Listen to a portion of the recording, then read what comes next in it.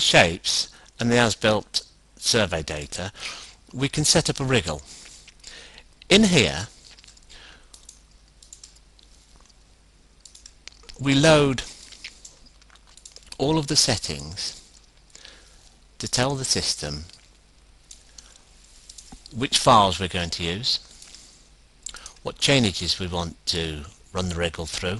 These will usually be all the layer changes from the survey itself. And then the types of reports we want to generate. Here I've selected the clearances.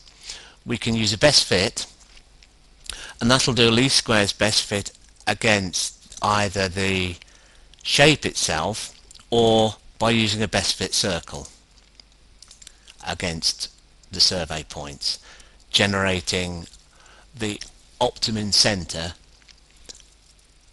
of a circle through all of the points again using least squares when we have all the information set up we run the wriggle using the play option.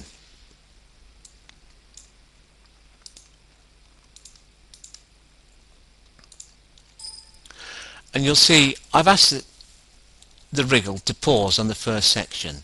That'll give me an opportunity to specify the type of print output that I want.